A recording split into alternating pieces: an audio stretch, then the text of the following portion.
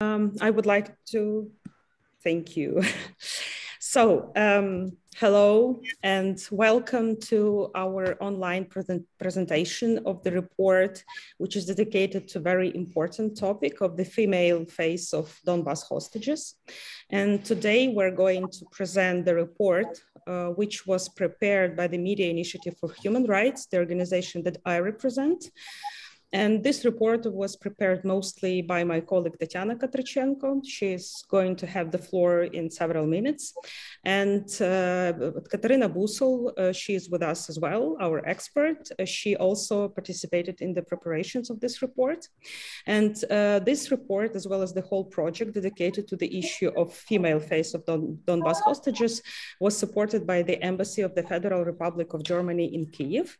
And uh, here I would like to immediately say say that we are privileged and delighted uh, to host today two ambassadors uh, these are Ambassador of the Federal Republic of Germany to Ukraine, Ms. Anka Feldhusen.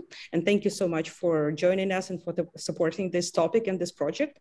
But also we are uh, privileged to, to host Ambassador John Herbst, who represents the Atlantic Council. He is a senior director uh, of the Eurasia Center at the Atlantic Council. He is a former ambassador to Ukraine. And recently we met in Washington, DC. And thank you so much, Ambassador, for joining us uh, today as well. And uh, before I will give the floor to ambassadors for the welcoming words to our today's meeting, I would like just to say a few words that uh, it seems to us that the topic of illegal detainees in Donbass and the female face, which was not previously uh, researched and discussed within the Ukrainian society is important also um, uh, given this uh, troops uh, build up of the Russian troops near Ukrainian border that we all discuss now on the both sides of the Atlantics. And also this um, situation raises the issue, of course, of humanitarian um, um, problems and possible consequences of the further escalation for those people who are in the occupied territories and they that they ca cannot even uh, take care of themselves, of course, in this situation. And also, I would like to note that recently uh, President Zelensky announced uh, possible negotiations uh, uh, over the release of hostages that might happen, we also hope so, before or after the Christmas. But it, it's not, of course, was the announcement, it was rather hope that was expressed by the Ukrainian government that something might happen, but we're not sure still. so, and as of now, we have 300 people, just as a reminder, at least 300 people detained in the in Donbass, non-government government controlled areas, and 30 of them, at least 30 of them, are women. Uh, and it's one of the key issues for us um, uh, as, as, as a human rights NGO that is working with this issue. And now, without the further delay, I would like to give the floor to Ambassador Feldhusen for the welcoming words, uh, and then to Ambassador Herbst. And after that, I will introduce uh, the key speakers and will uh, give them the floor. Uh, Miss Ambassador, please, the floor is yours. Thank you very much. Um, Ms. Tomak, Ms. Katrychenko, Ms. Dear Ambassador Herbst, and I understand uh, my good friend Oksana has not joined us. but nevertheless, I mean, just back from Kharkiv an hour ago, I'm, I'm really glad um, to be joining uh, the Media Initiative for Human Rights uh, today um, for the international presentation of your report on the female faces of the Donbass hostages. Um, I have already had the chance to read part of it, and I, I must say I am actually proud that the German embassy has been supporting the production uh, of this report. I think it will be very useful in highlighting the plight and the special needs, not only of female prisoners in Ordlo, but also of their families. The report underlines the simple yet sometimes overlooked fact that women face completely different challenges than men, especially in a context like imprisonment and war. This is the fundamental insight of women peace and uh, of the women peace and security agenda.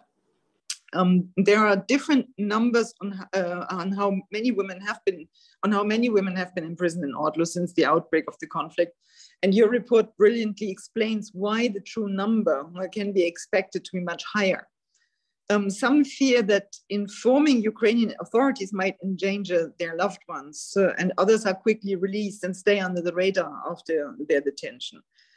Um, however, it is safe to say, I think, that there are too many for any Ukrainian authority, yeah, that there are too many for any Ukrainian authority to remain indifferent to their special needs and that of their families. And when I spoke with you last time, you gave me the opportunity to exchange personally with some of the affected women um, featured in this report.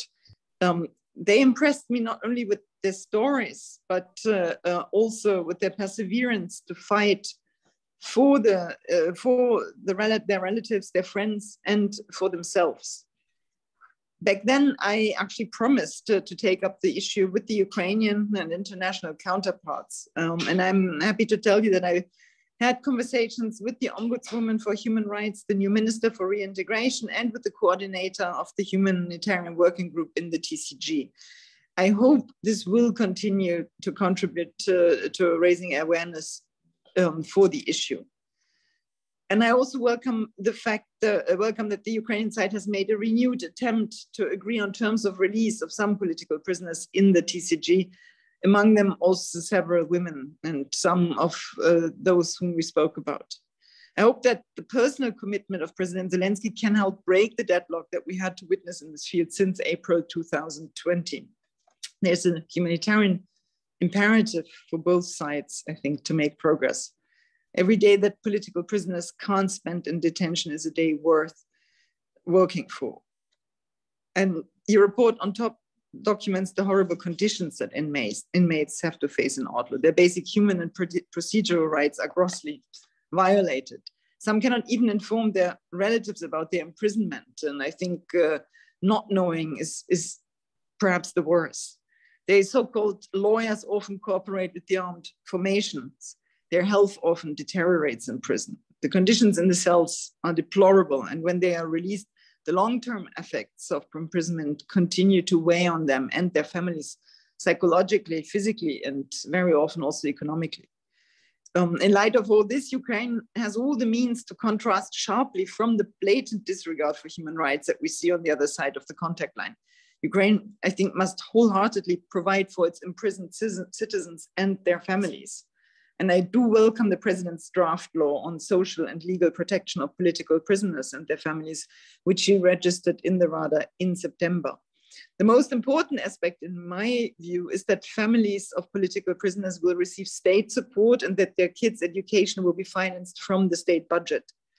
I hope the draft will be adopted soon, and we will certainly raise it when we can with the, with the MPs in the Rada while improving Ukrainian authorities' responses to the need of female, needs of female prisoners and their families must not stop with the adoption of this law, um, I am sure your report can help drive it.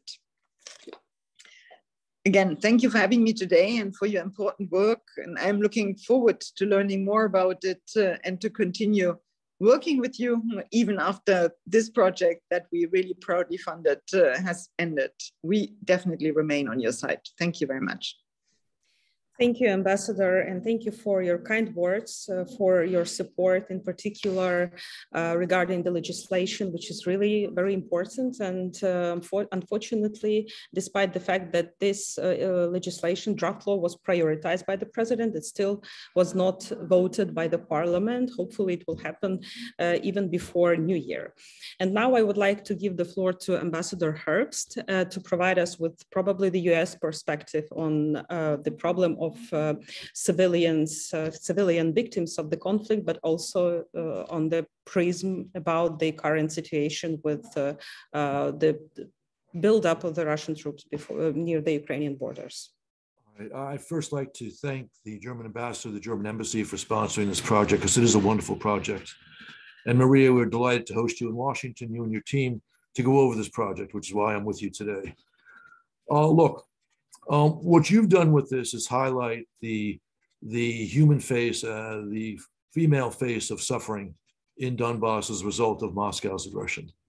And that's very important to put on the public record so that people understand precisely what's been going on there for almost eight years. Uh, regarding the regarding the current crisis, uh, there's no question Moscow has assembled up to 100,000, maybe up and with plans to more than 100,000 troops on your borders in various places. And they are threatening a major conventional operation in Ukraine. Um, my personal view is this is bluff.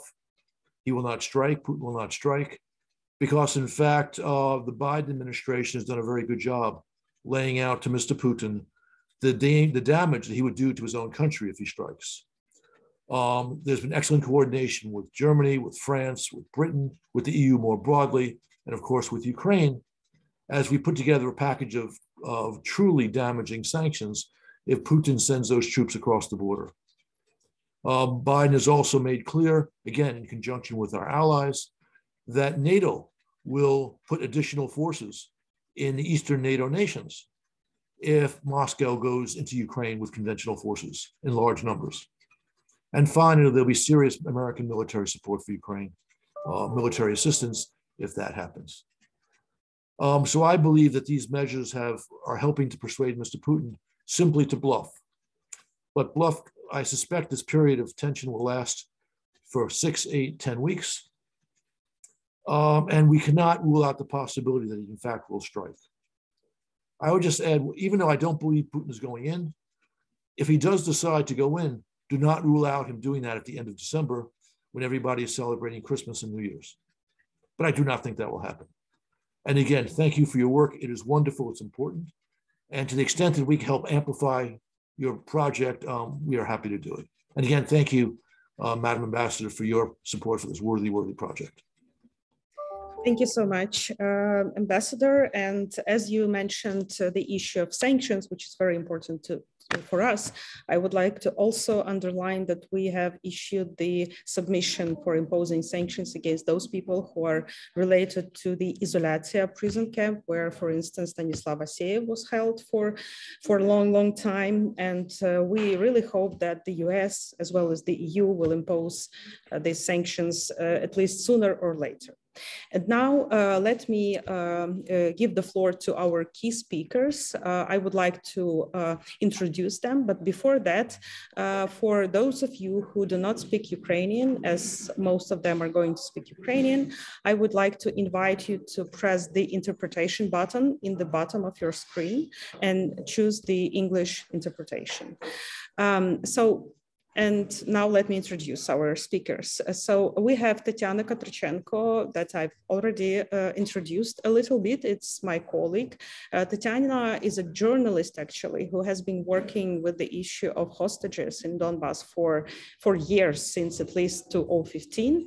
And at some point we met and we decided to cooperate as Tatiana was uh, no more uh, a pure journalist uh, in this topic because she was helping and assisting to relatives, tried to um, help and support them. So, and she is the main author of the report. Um, so Tatiana is with us and she will uh, introduce the report. Um, uh, it's very important that today we have uh, a relative of one of the uh, detainees, a female, a female detainees, uh, Liudmyla Huseinova, and her story is really striking because she is a volunteer. She helped two children uh, in the um, uh, uh, those children who are living in orphanages near the uh, borderline between Ukraine and uh, temporarily occupied territories. And that's why she was captured. Um, and she's staying for, for years in the, in the illegal detention. And we have Tatiana Galant, uh, her relative, who will introduce the story of, of this courageous woman. And last but not least, Kateryna Busol is with us. She is a lawyer specializing in armed conflict and gender issues. And she, as I've uh, mentioned previously, draft, uh, helped us to draft uh, the report in particular in terms, in terms of the recommendations that are really comprehensive. And for those of you who had not, uh, have not, um, had not chance to uh, go uh, through them, I would recommend to do that because they're really very substantial and comprehensive. So without further delay, Tatiana Katrychenko, the floor is yours. Tatiana, я попрошу говорити повільніше, щоб з перекладом встигали. Tatiana, please speak slowly to make sure our interpreters are catching up. Good afternoon, everyone. First of all, I would like to thank you uh, for your interest uh, in this uh, topic. Uh, during drafting of the report, on more than one occasion, I heard uh, uh, from women their stories about what uh, detentions on the uncontrolled territories were like, and uh, the attention to the topic helps them to survive this experience and survive this trauma. And those who initially seemed very close, those that we were writing about in our report, they would open up later, they would speak about their experience and what is also important, the experiences of uh, their relatives. This report is a result of more than one year of work. We have been working on it since March uh, 2021, uh, but we've been exploring the topic, the Media Initiative for Human Rights has been exploring the topic for several years. And we realized that the issue of illegal detentions on the non-government controlled territories requires uh, much coverage. And there's a reason for that. These territories are um, uh, closed. In occupied Crimea, uh, sooner or later, a lawyer can come to the detainees or mass media, uh, or civic journalists that they refer to, they can come to detainees. Um, in Donetsk and Luhansk Oblast, people simply disappear. It, these are the cases when the person simply doesn't make it to work or doesn't make it back home one day. And then the family spend months or years looking for these people. They try to find a way they're being held, trying to give something to those people, and there's no way knowing whether uh, the medications or food makes it there. And not to mention about the visits. The visits are prohibited and there's no information about the health of those detainees not to mention the reasons for detention and the prospects of release and I would like to emphasize that uh, Ukraine and the entire world needs know, to know about the problem. They need to know that in the very center of Europe, unknown people are kidnapping and torturing people. We need to speak about that.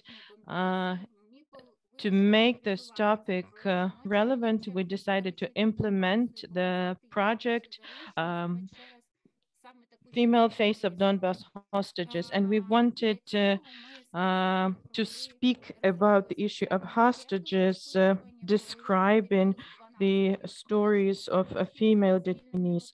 We drafted uh, uh, questionnaires. We talked with the hostages that were released.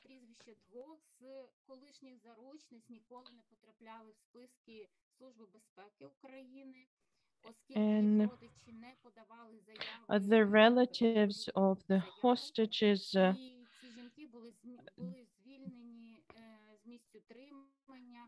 uh, it's through their efforts these women were released.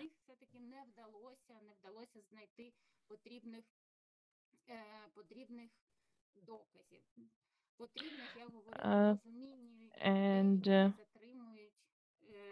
uh, the necessary evidence was not found by those who were detaining the women. So that is one of the reasons why they were released. We talked to the families of the hostages, uh, uh, the families of the women that are held in detention. Uh, these are not only women, but men as well. We talked to their wives, to their mothers, children. And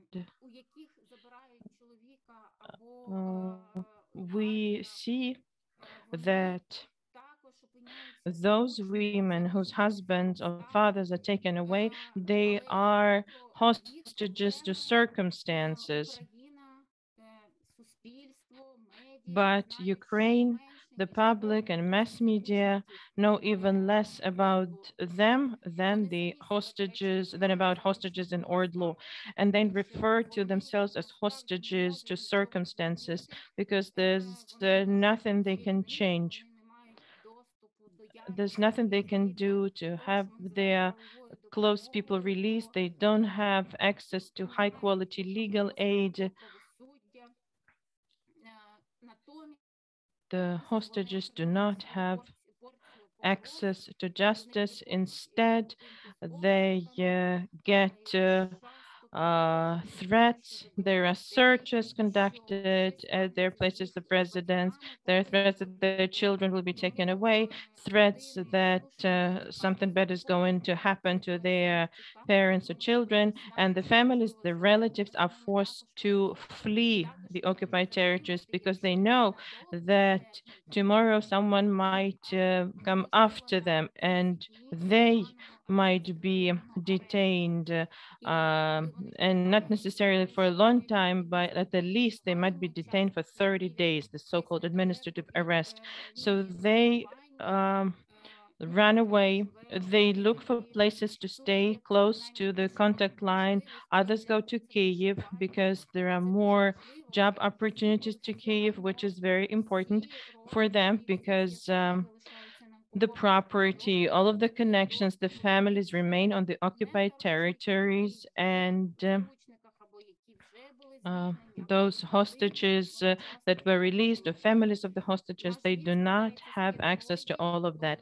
Our report um, uh, includes five chapters that describe the entire period, starting with apprehension, first uh, interrogation, and um, the uh, hardships after release, we drafted recommendations to Ukrainian government, NGOs, Ukraine's international partner, and my colleague Kateryna Busol will be speaking about those a bit later.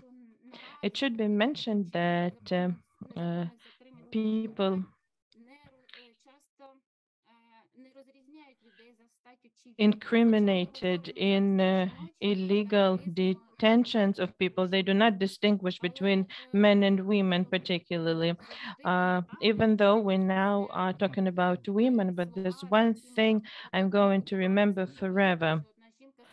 One woman uh, said, the fact that I was a woman didn't matter when I was detained. I was beaten up, and it didn't matter to them that I was their mother's age.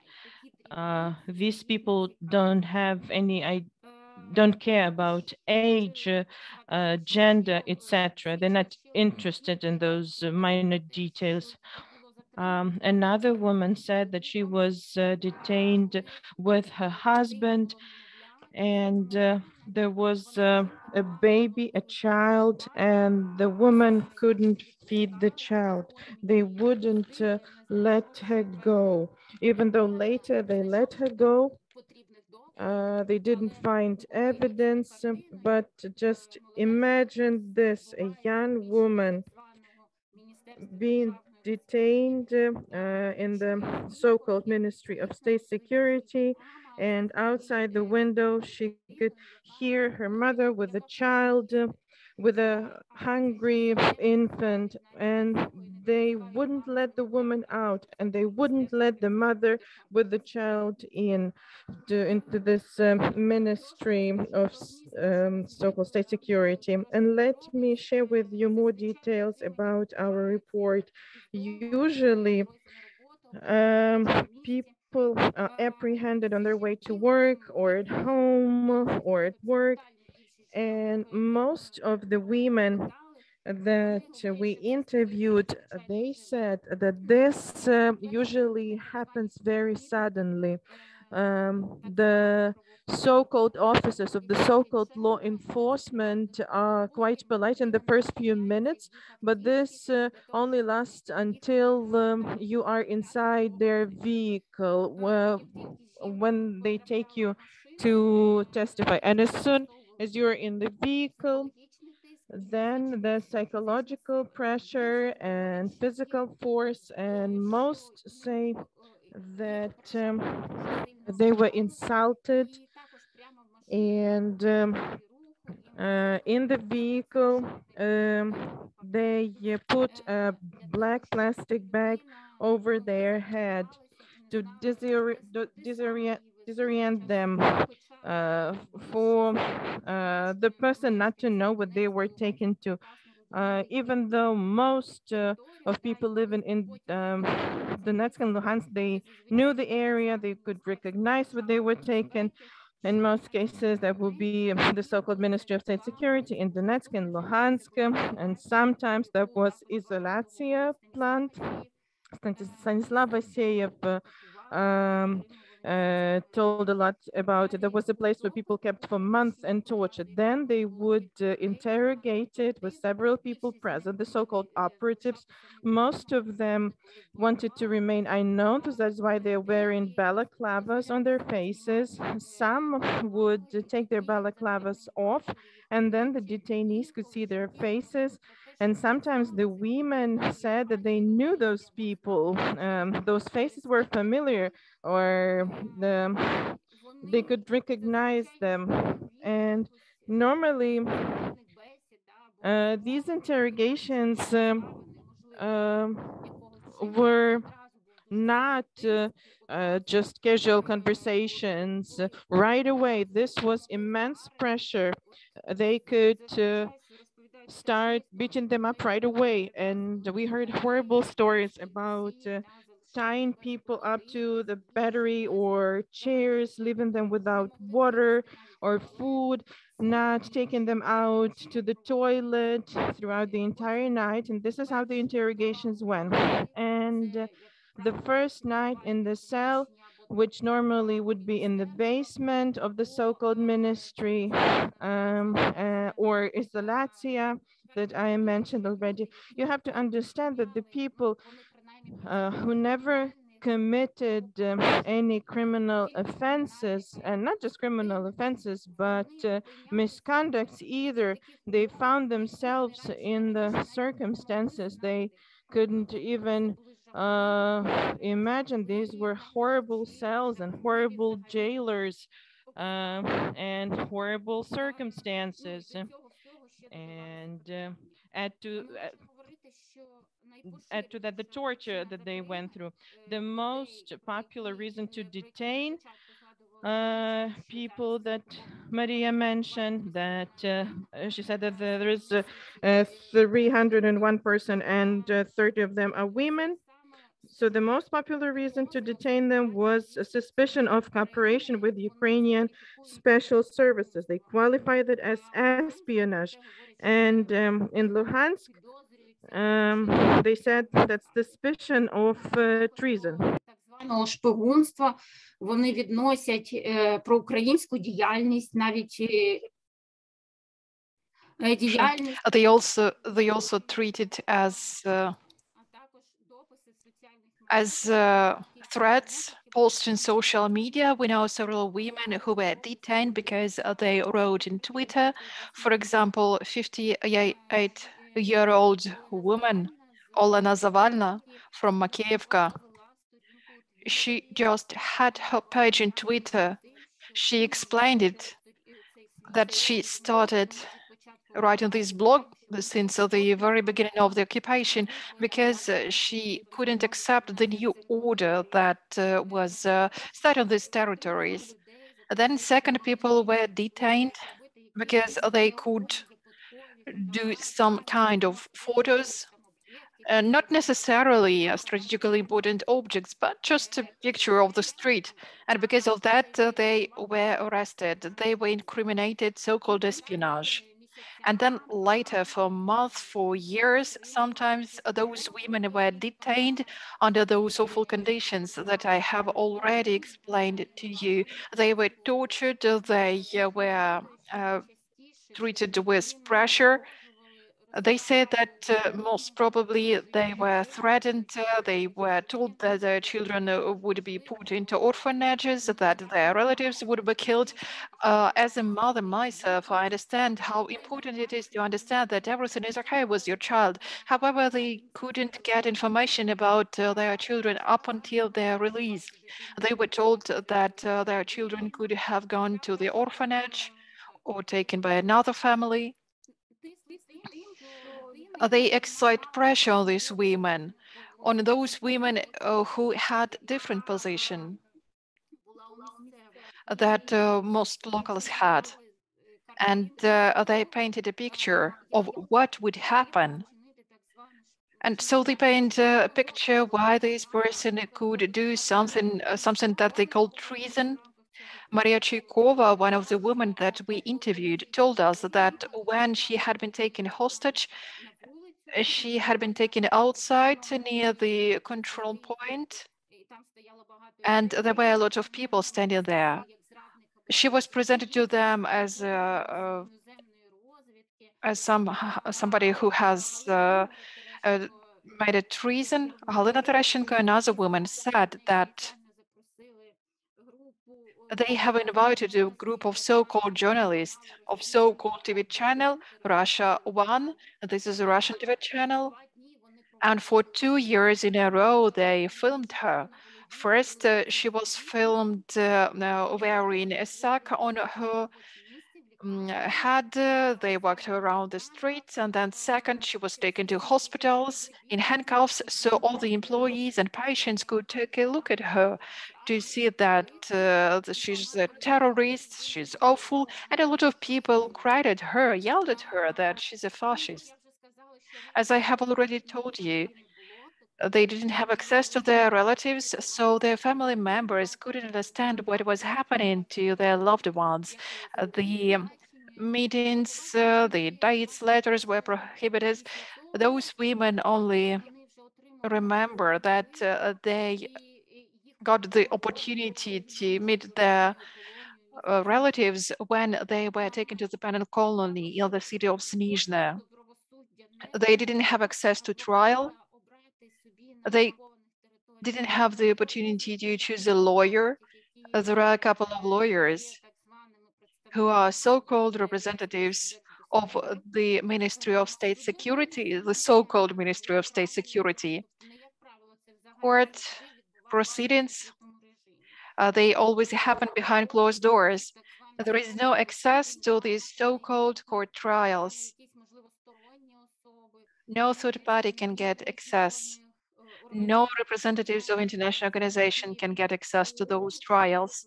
We know that UN representatives back in 2017, they could visit a so-called uh, trial so at least they could see that this person was detained to get to know the reasons why he she was detained. However, right now all the trials happen behind closed doors, so it's impossible to get to know what is happening there. Sometimes those trials uh, they happen in one day time. So these so-called courts has enough time to get acquainted with all the documents, with all the materials, though they said there are several volumes of materials, and to make an indictment, a decision. After this uh, court decision, the women are sent to penal colonies, special women's women colonies that had been existed even before 2014 on the territories of Donetsk and Luhansk oblasts all the women that we interviewed, they described these colonies as a very difficult, uh, hard and awful place where so-called political prisoners always have to be near criminals in the same prison cells. Most of those criminals were put there even before 2014. So these are people, some of them, they committed murder or some kind of other felonies management of such colonies often supports these criminals. They support this regime. That is why the detainees are always put under pressure. They are not allowed to have medicines, to take medicines, to take pills. uh, they can get the pills that were uh, sent by their relatives only in a several weeks time. There is no access to medical care. There is no access of international organizations to those um, detention facilities. So we can say that the only way uh, to the freedom for these people, for these women, for political prisoners, uh, these so-called prisoners, well, we know that as of now, there is a problem with this prisoner exchange, unfortunately, with reciprocal release. As a rule, uh, main, uh, Minsk format is now blocked. That is why there is no contact between the Russian Federation and Ukraine. The Russian Federation always tries to legalize representatives of Ordlo to show that uh, there is uh, an internal conflict in Ukraine. So consequently, the detainees become hostages. First, they are hostages to the situation, to the circumstances. Because of this behavior of the Russian Federation, they cannot be released for years and years. We know that there are 30 women taken hostages among them, there are some women who have been there for more than four years. For example, Olena Fedoruk, who was detained in summer 2017. For the past few years, uh, she uh, has been in the penal colony that I just mentioned. Our report also highlights the issue of uh, the life of former prisoners, former detainees after they have been released how they overcome all the difficulties that they face after being released in real life. They say they, they cannot find a job. All of their property is left there on the occupied territory. Very often, uh, they don't have means to survive. And to, not only to buy a flat, a new flat, also very few of them, very few of those women believe that uh, the guilty would be brought to justice.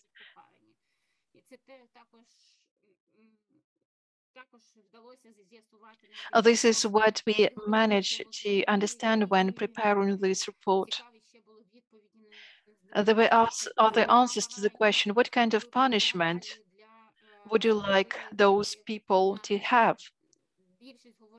Most of them said that they would like to see them behind bars for the same period of time that they were promised. And some of them also said that they even thought about death penalty. The last part of our report, section number five, is dedicated to life of relatives and family members of the current prisoners and detainees that have been released in 2019, especially women. We tried to hear their story, to understand what they have gone through. Anka Feldhusen has already mentioned about the difficulties, or the challenges that they have to face every day. I hope, we all hope that our world, that our report will draw more attention to the issue of detainees in Donbass.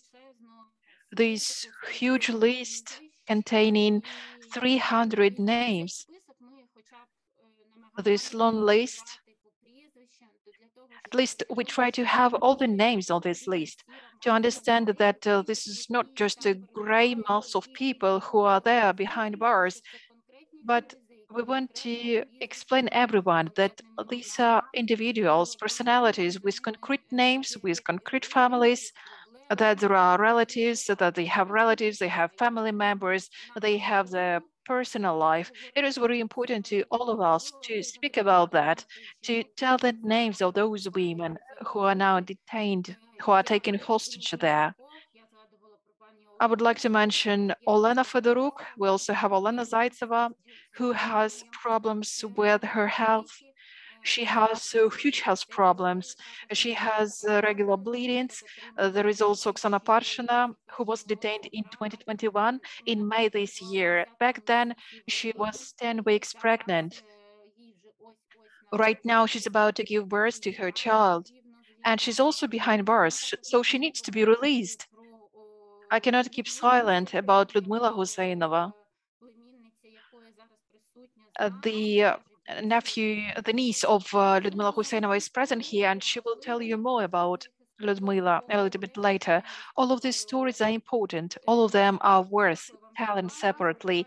Thank you so much for your attention. And if you have any question, I will be happy to answer them comprehensive presentation, uh, which I think answers many questions.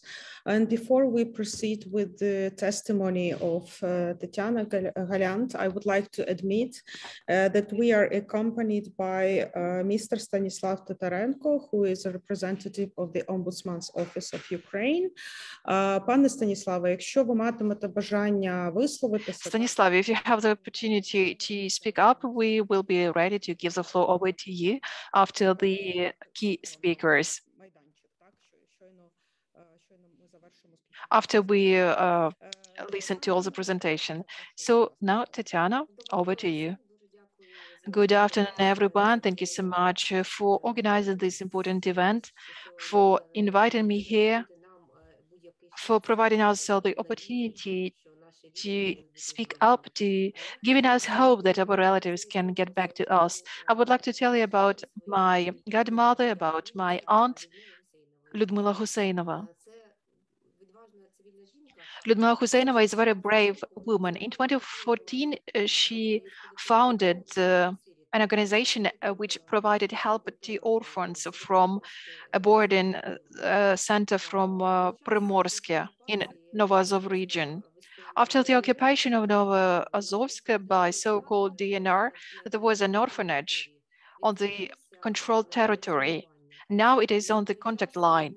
Back then, there was no access of Ukrainian forces to this orphanage. There was no opportunity to give them over some kind of help. And uh, the armed forces of the Russian Federation, they didn't care about them.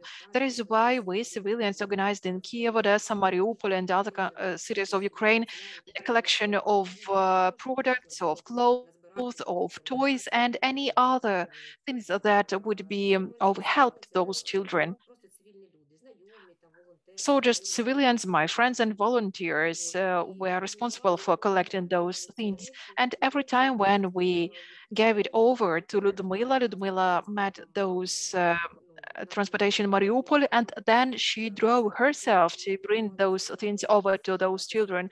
Each time she asked to write us uh, little messages, letters to those children with uh, uh, words of support that uh, you are not forgotten, we love you, Ukraine remembers about you.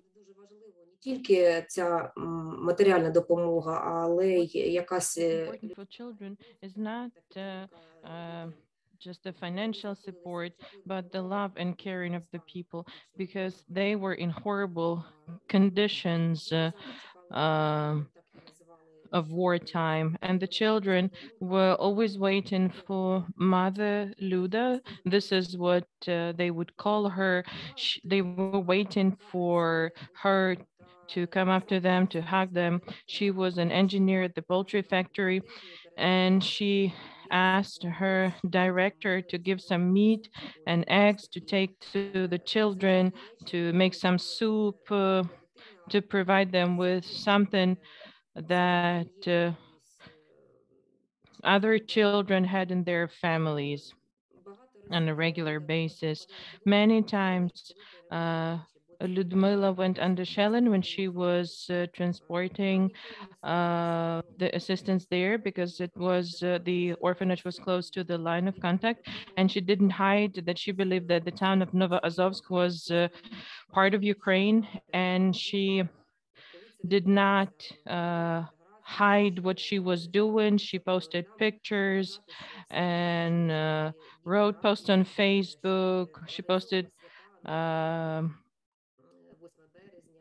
information about organizing uh, uh, New Year's celebrations, matinees for children, etc. And in October 2019, the representatives uh, of uh, the so-called Ministry of Security Service uh, uh, apprehended her at work. She was accused of banditry and espionage. It took us two months to find her. We didn't know where she was. And in two months' time, we learned that uh, she was in Izolyatsia, um, in the basement that everybody knows about. She was in horrible conditions there. She was tortured. She was abused. And after Izolyatsia, she was taken to uh, SIZO trial uh, detention facility number five. She's still there. She is in humane conditions. There are 30, 40 uh, people, 30, 40 women in um, a cell. She is the only civilian amongst women. Um, there are women accused of murder. There are repeated offenders there in the cell. The cell doesn't have potable water. The food that they're given is impossible to eat because it has uh, uh, soil, rocks in it. So it, it, these are inhumane conditions. And uh, the only way to survive is on what their relatives uh, um, send in uh, there. But as Tatiana has mentioned, not all of the medications make it there uh, because the jailers, they distribute uh, these parcels themselves. And um, it's uh, been two years with her detained there without a verdict, no trial. The case is not moving. Uh, she had uh, COVID and uh, uh, her chronic conditions worsened. She had uh, a major condition with her leg. She lost 70% of her eyesight. Uh, when she was in Izolyatsia, she was tortured, her eyes were burned. And Liudmyla, she's uh, a very brave woman. She hopes to be released and she hopes to continue helping children and families of uh, the detainees. And um, every time I get a chance uh, to talk to her, uh, a few times a month, every time I learn about horrible things uh, that she's going through. But she hopes that she will that she will be released, that she will be able to continue her work. And um, uh, I am happy to receive any help. And I would like uh, to say something to uh, the public, to the international partners. Uh, I'm asking you to exert some pressure to help release these people because these brave people are fundamental for the future of our country. Thank you very much. Thank you, Tatiana, for your participation, for sharing uh, this story, and thank you for staying in touch with us, sharing this, uh, sharing her story. I think this will be helpful. Uh, and uh, thank you, Kateryna, for supporting us in preparing this report. Uh, I know that you're very passionate about this topic, uh, like personally and as a professional. So thank you for that. And uh, please, the floor is yours. Uh, if you can also touch upon some of the recommendations that you helped us to uh, come up with, uh, I would appreciate. Um, thank you very much, Maria. And um, it's really has been an honor for me to participate in this project. Although, to be honest, I wish we didn't have such issues and such projects to complete and to work on. Um, but um, the initiative to show uh, the gender perspective, and I will explain why, speaking about the female victimization, we're also helping to better understand how the armed conflict victimizes men and how can we better help the different uh, uh, ranges of survivors, including women, men, the elderly parents and the children. And this project has indeed been the first one of, of a kind. And as Maria said, I, have been practicing, unfortunately, um, law in Ukraine in relation to different conflict related issues since actually 2015, but it has been the most difficult uh, project personally and professionally for me to work on. And I think it speaks volumes as to how, even with the most sincere uh, intentions and actions, for instance, on prosecution of conflict related crimes, we often omitted the core. We omitted the survivor's perspective, the survivor's voice, their experience of how um, the trauma of detention, of other human rights violations has shaped them, reshaped them, and how that should impact the states uh, and then actually the international community's response to it. Um, it is quite notable uh, that um, uh, both the Ukrainian human rights community, but also Ukraine as a state, have not really prioritized the gendered approach to conflict related justice nor specifically have they been acting in documenting, investigating, and prosecuting conflict related sexual violence. Uh, which unfortunately, again, is inherently connected with many unlawful detention cases with respect to both women and men. So comprehend just one fact. Ukraine has, Ukraine recognized the jurisdiction of the International Criminal Court in 2014 and since, since then, both the civil society and Ukraine's Prosecutor General's office, the Prosecutor's Office of Crimea have submitted more than a dozen of communications about a wide array of um, crimes allegedly perpetrated in occupied uh, Crimea and Donbass. But it is only now in 2021 that the Prosecutor General's office is working on the first communication on conflict related sexual violence. So that's very indicative that the particular victimization of women and men has not been looked at. And the particular, very, um, very particular, very difficult type of war crimes and crimes against humanity, conflict related sexual violence, has not been really worked upon well in domestic criminal proceedings. Now, uh, we can, of course, say that it's always better to do something even if it's later, but I'm just hoping that both the civil society and the Ukrainian government become a bit more proactive in infusing the gender lens in their conflict um, uh, focused um, uh, policies.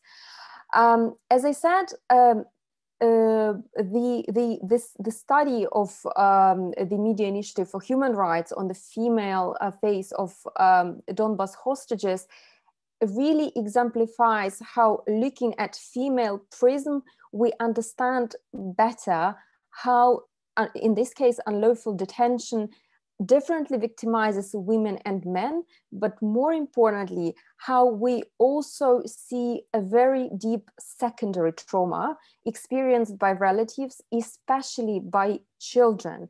And um, why it is so important, again, to look at this female prism, because I've been working with um, uh, survivors, both male and female survivors from Donbass, and men don't speak about many experiences. They don't speak about their own psychological um, trauma from the detention very often. They also don't necessarily um, speak about the impact of their detention on their family. And it's actually women who say that uh, it's not only them who need psychological support, which is crucially lacking from the state. They're saying that, that the uh, whole um, package of help from the government uh, should include psychological support, not just of the survivors, but of the wider family and especially of children.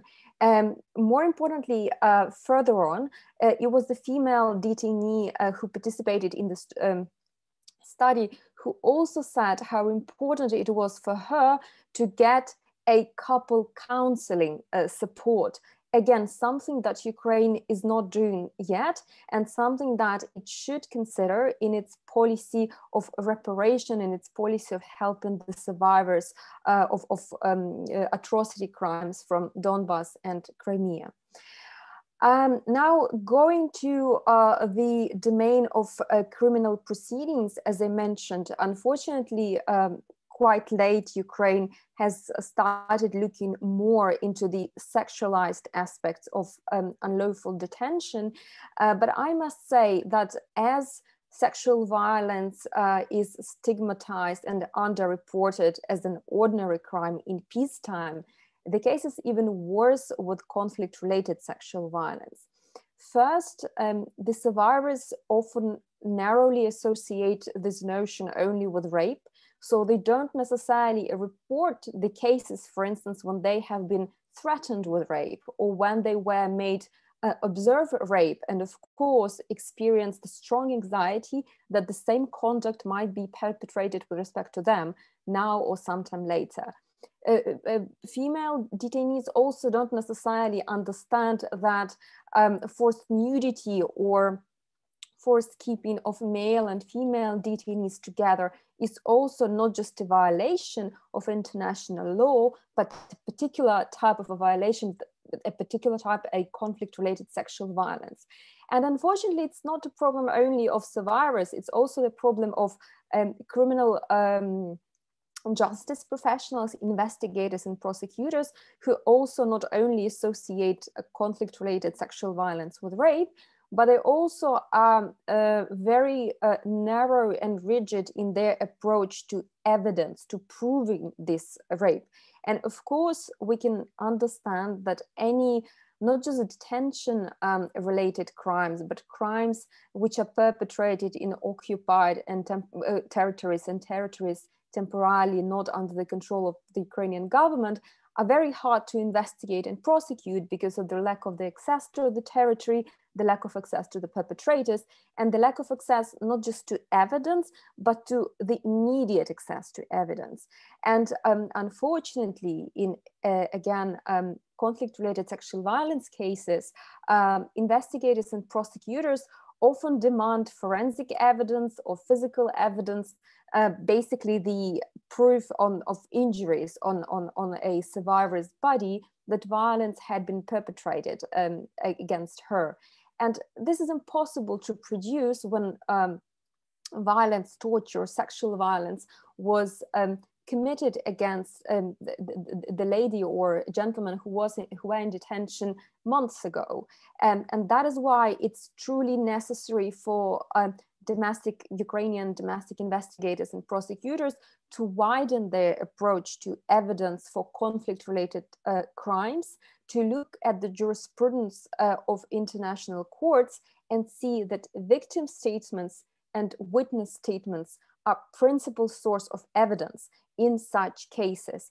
Otherwise, it will be just impossible to prove what they're trying to prove if they want to have forensic evidence. I'm sorry about being very de detailed about these particularities, but you won't believe how many survivors just turn away from reporting these crimes because they're being asked to produce what they physically cannot produce, and that just dashes their hope for justice.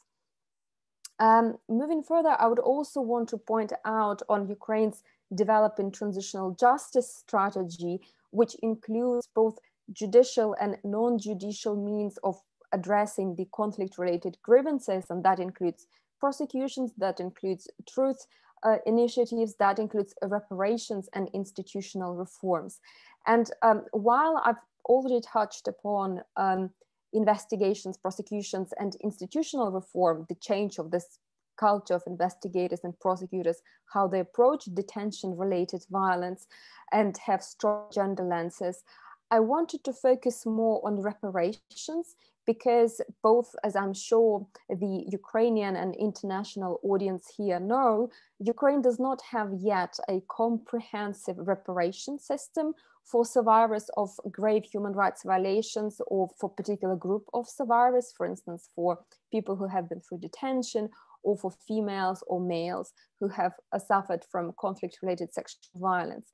And um, uh, through the interviews uh, that you will be able to read, through the quotes that you will be able to read in, in the report that we are discussing now, you will see that um, the, the, first uh, major request of survivors is to have the sustainable medical and psychological assistance. So even after those um, un, uh, unlawful detainees and prisoners of war exchanges, which Maria has mentioned, and which hopefully will happen soon, uh, such medical and psychological support was provided but it was very meager and there was no sustainable support for survivor let alone there was no couple counseling or psychological support for the wider family members and especially children. And I mentioned that this is a particular request of female uh, detainees from Donbass.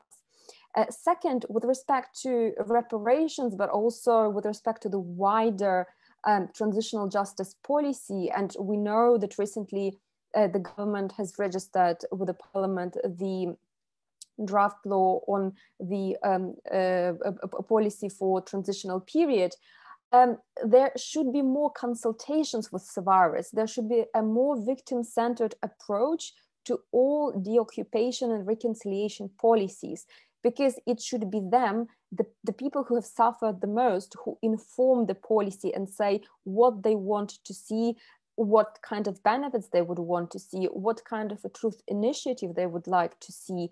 And as of now, unfortunately, the government has not engaged that much with survivors. The government has engaged quite considerably with the civil society, but the civil society is still more of an intermediary. They should engage more with survivor group.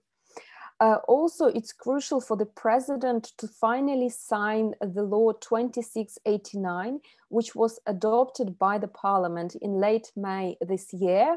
And this draft law brings Ukraine's criminal code in compliance with international humanitarian and criminal law and gives a, a very qualitative toolkit to domestic investigators, prosecutors, and judges to qualitatively conduct conflict related cases for instance, this draft law has a full uh, and a much wider range of uh, war crimes that are currently there in um, Ukraine's criminal code. Second, the draft law introduces the notion of crimes against humanity, and this notion is very important um, uh, for, for Crimea, for the persecution of Crimean Tatars. Um, finally, I already mentioned conflict-related sexual violence.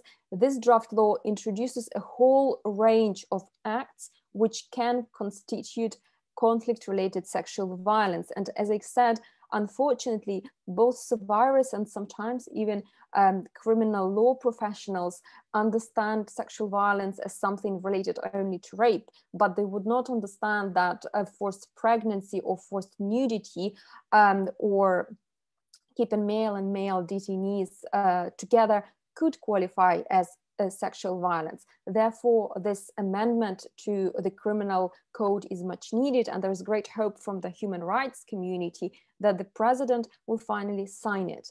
Um, uh, special investigative and prosecutorial strategies for um, different types of um, conflict-related crimes, such as torture or sexual violence, are clearly needed because, as I provided an example with the evidence, uh, it's natural that domestic criminal um, justice professionals simply lack the experience of dealing with the crimes of such magnitude and of such a different context. Um, also, uh, the staff of Ukraine's investigative and prosecutorial bodies should be more gender diverse. It means that a survivor would really sh should really have a chance to choose whether she or he would want to communicate with a female or a male investigator, who she trusts more. And I can share that um, um, it, it, actually many colleagues from um, many colleagues prosecutors tell me that even male survivors feel more comfortable speaking to female investigators and prosecutors about their uh, detention related experience, especially about such a sensitive issue as sexual violence. So this proves the thesis that I started with that uh, uh, when we look closer at the female perspective, we really um, enhance the gender, gender sensitivity of all um, uh, justice and reconciliation um, initiatives, and that benefits both women and men.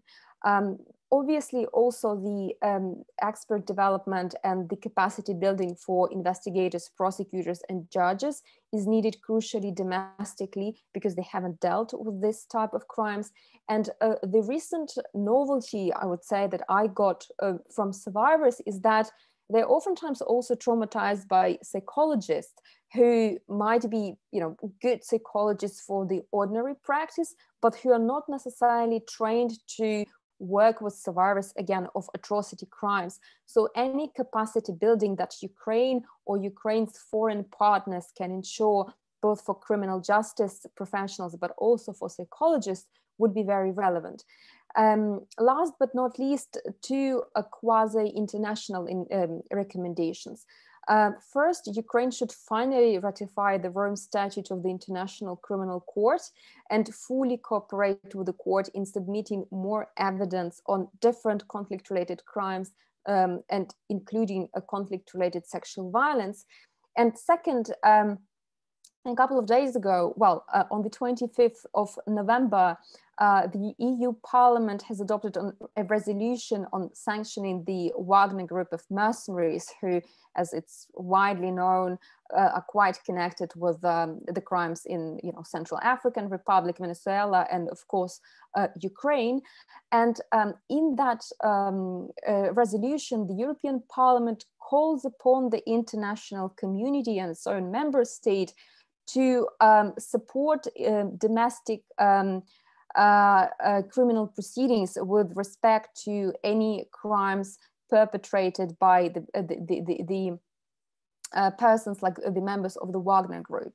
And so that was a direct reference to the universal jurisdiction proceedings, which uh, mean that if um, a, an, a crime uh, was perpetrated elsewhere in the world, but it's so atrocious if it's like a war crime or crime against humanity, then another country kind of not connected with, with, with, the, with the place where the deed was perpetrated or with the um, victim or with the perpetrator itself, uh, other states still can and should investigate and prosecute those deeds exactly because what danger they pose to the international rule-based order and survivors um, trust in justice. And as our event today is organized and is the whole project has been generously supported by the government of Germany, I just wanted to draw our attention to the groundbreaking ruling that Germany, a German court uh, passed a week ago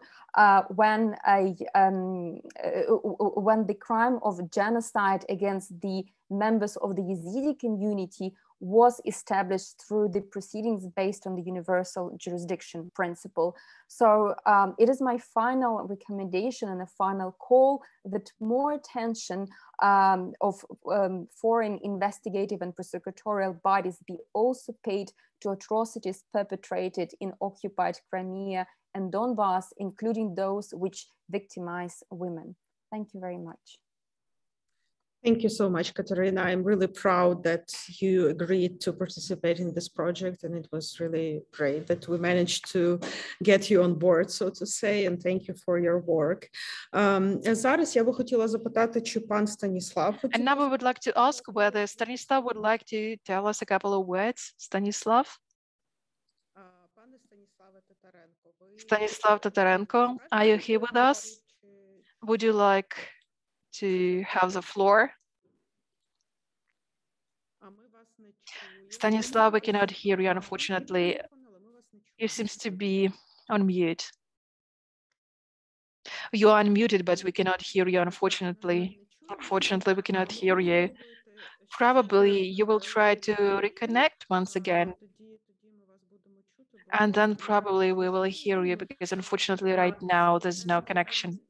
Maybe uh, some of uh, our guests have some questions uh, while you're thinking on, on the possible questions, I would like to admit that uh, um, you can read the report uh, in Ukrainian, in uh, English, in Russian, and in German language on our website. Uh, I provided the link uh, in the chat, and of course, uh, it has already been published on our Facebook page, so you can find it there, and you can go direct, di directly to mipl.org.ua, and you can see there the report. Um, uh, Пане Станіславе, здається, зараз вас чутно. Stanislav, we can hear you right now, it seems to me.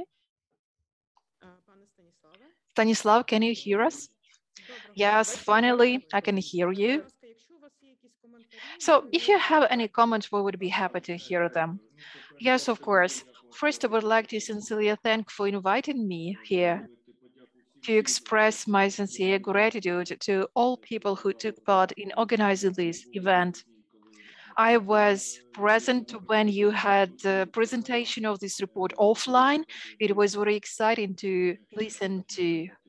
Well, if I can tell this exciting to hear to those people who were victims to torture, who were detained unlawfully on the temporarily occupied territories of Donbass, unfortunately, those who were released.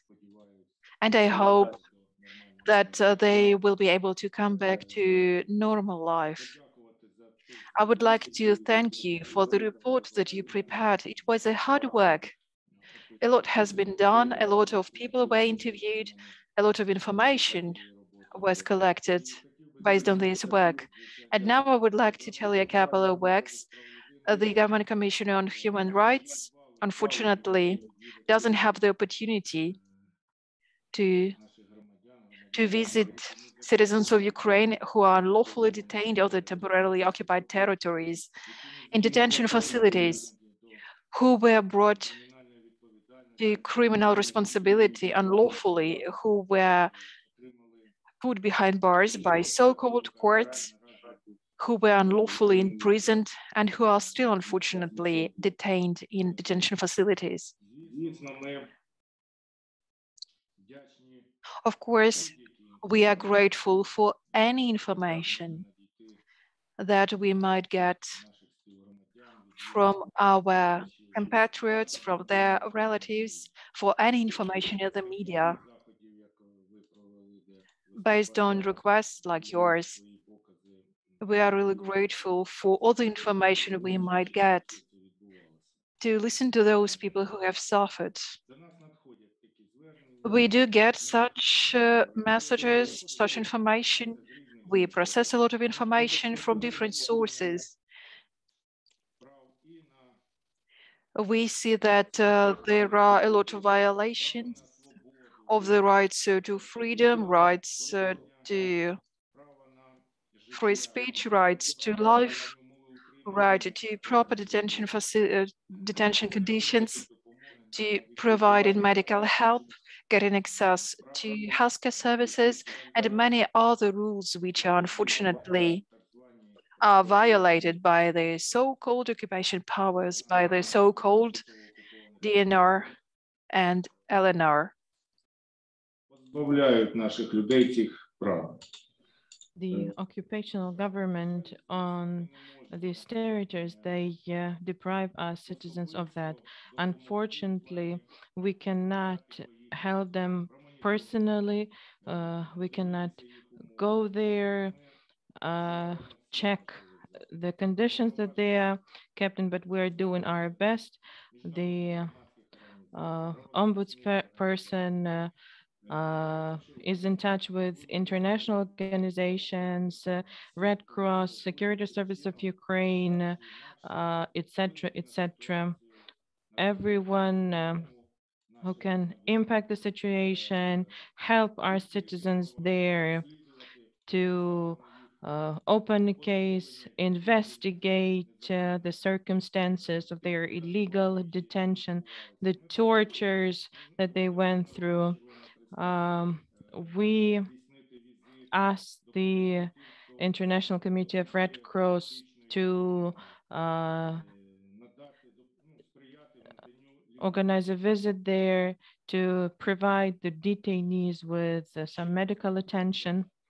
Thank you once again for this opportunity to join uh, you in the discussion of this report, which I find very important.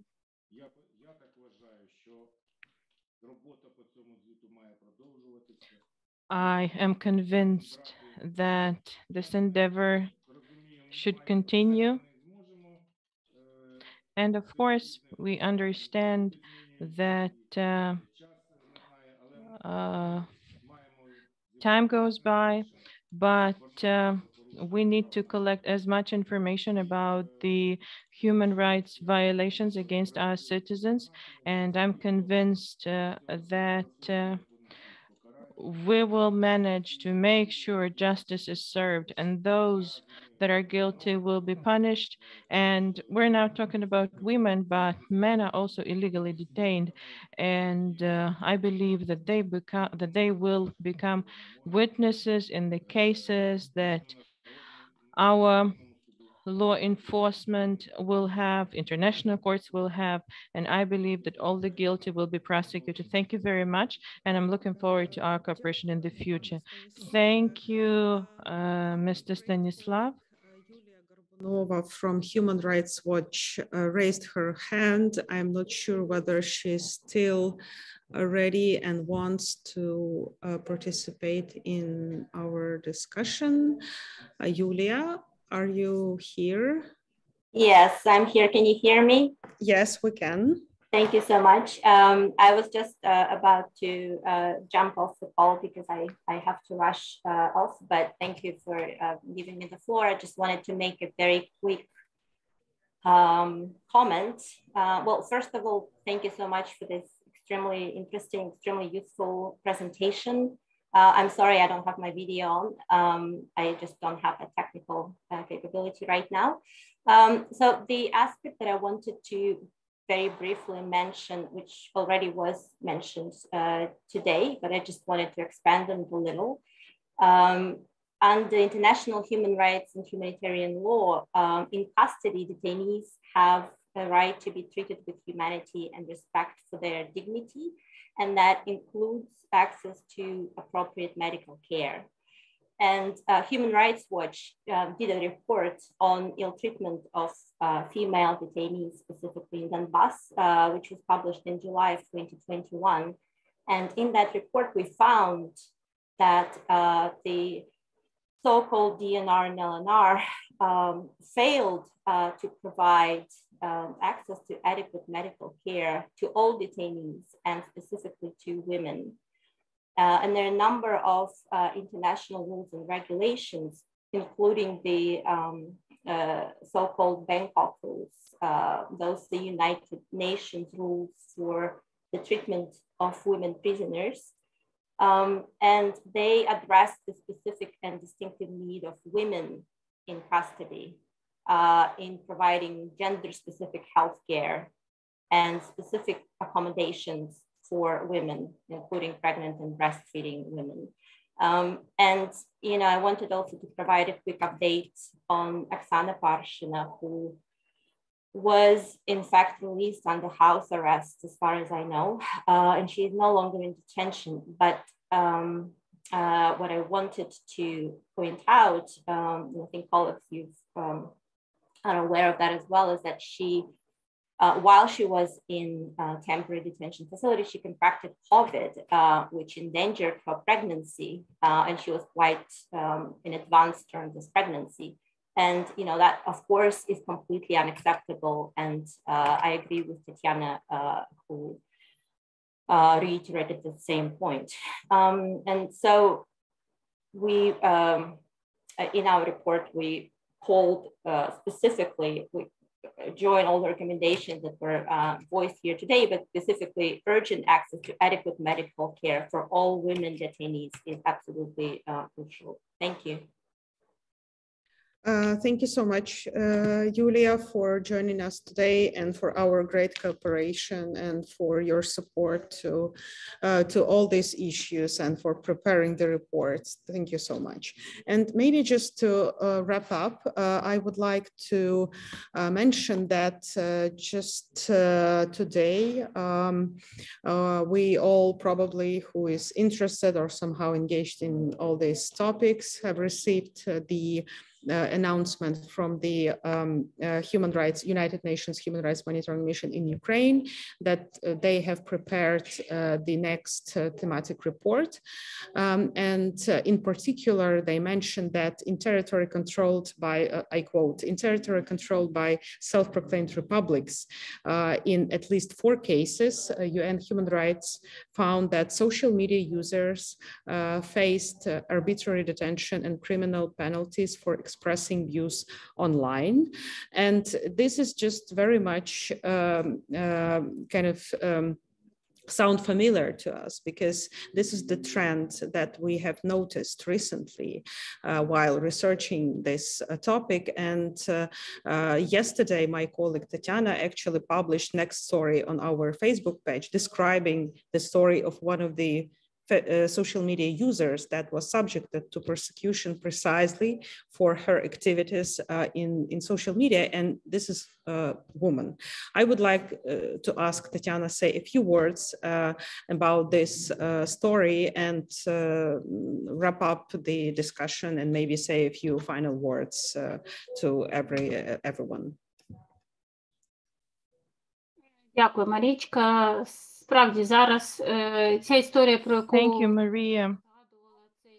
The story that you just mentioned is the story of Olena Zavalna, who made posts on Twitter. She used a pseudonym and she was побачила людей у військовій формі, де вона побачила якусь техніку, або просто про настрої у місті. Її е, її знайшли і її затримали. Е, так, Також е, серед затриманих зараз перебуває Марина Юрчак. Це жінка, яка також була затримана саме за дописи у Твіттері. Її батьки Марина Юрчак виїхали. This is a woman who was detained because Marina didn't want to move out. Uh, she didn't uh, agree with the regime and she didn't she did want to continue. She wrote in social media and right now she's in penal colony in colony in Snizhne, and she has got 10 years imprisonment together with her aunt, uh, Tatiana's aunt, with Liudmyla Huseinova. Uh, she's under the same conditions. Thank you. Thank you, Tatiana. Uh, and now let me close our meeting, our presentation. I would like to thank again to the um, Embassy of Germany in Ukraine and uh, personally to uh, Ambassador Feldhusen for participating in our presentation and for supporting this whole project. And we really hope that we can cooperate and further on circulating this report as wide as it's possible because we have this report in four languages, as I've mentioned, and it's really essential that um, as many as possible people get access to this information. And we, of course, hope that that uh, Christmas will bring us some wonderful news about the release of people, uh, about some swaps uh, or simultaneous exchange. Uh, as I should have said it. Um, and uh, let's just hope for that and let's work for that. Uh, thank all you all for participating and for attending our presentation. And should you have any further questions, you can write uh, to me, to Tatiana, or to, uh, to the Facebook page of Media Initiative for Human Rights. And uh, hopefully uh, we'll see you very soon. We'll meet you very soon in personal or online within the next uh, events. Thank you so much. Thank you very much.